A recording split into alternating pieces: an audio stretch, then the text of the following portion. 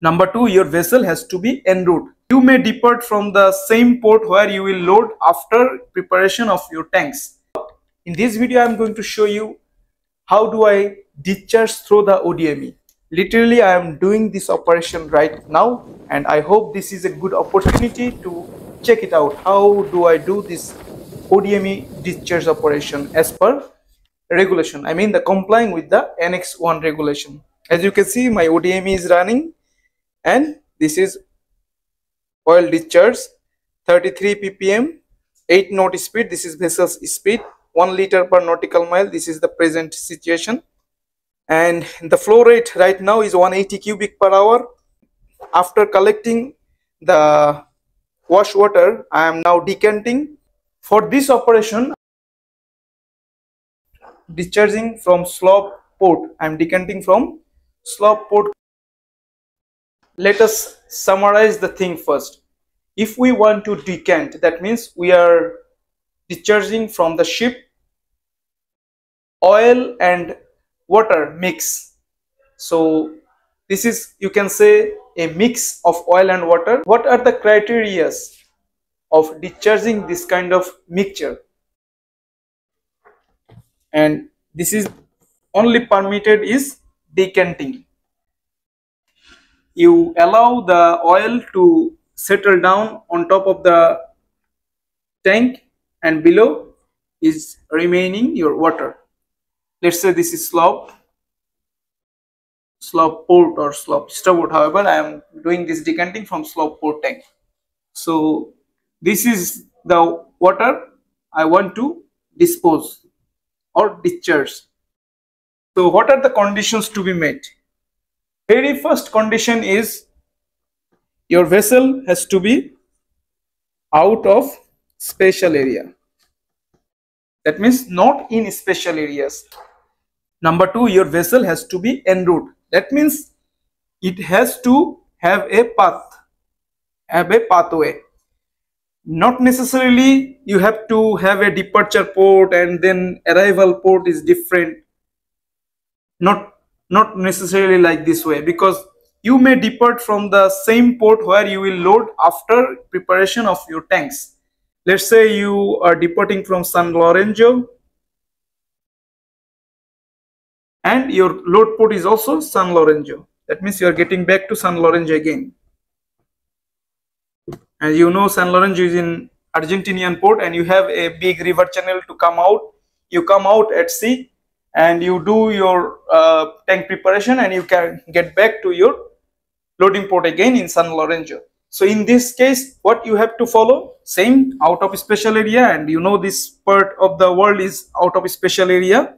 It's not included in special area for Annex 1 and your passes you will have to have a passes Just uh, you have to make a passes to have this plan to decant. Okay, number three, you have to be 50 mile away 50 nautical mile of course mile away from the from the nearest land. We are right now decanting and we are uh, loading back in San Lorenzo but we are already 50 nautical mile away from the nearest land and we are doing decanting right now as I showed you in my ODM is running. The oil discharge to be through ODME Number five, the quantity maximum. You are allowed to discharge is 1 by 30,000 of the quantity loaded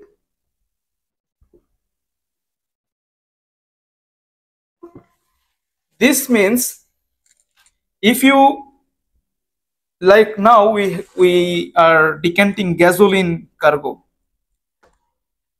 So gasoline is mixed with water now.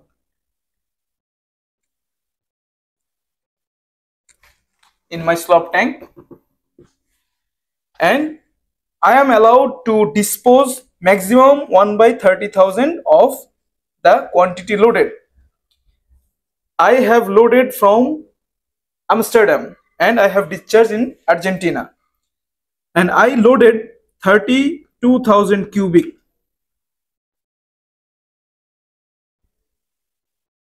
And I have to divide with 30,000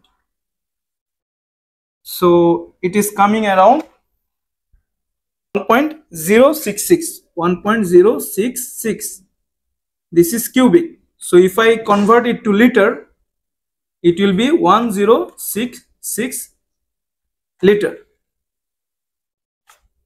This is maximum I can dispose but to be honest you will have very less cargo compared to this if your vessel is properly complying or if you do the stripping while you discharge the cargo if your stripping is good there will be much much less cargo because your vessel is designed as per P&A manual if it is a uh, if it is a oil and chemical tanker.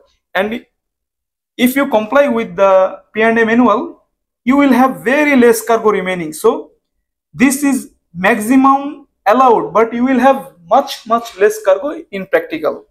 Right here 30 liter per nautical mile.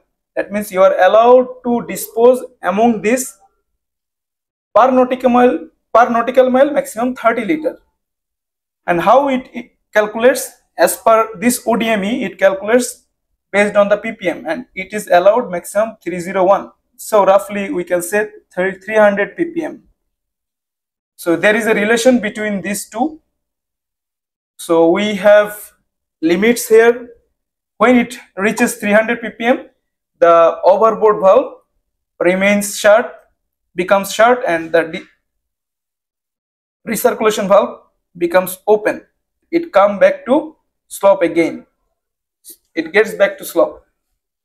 Hope to see you in next video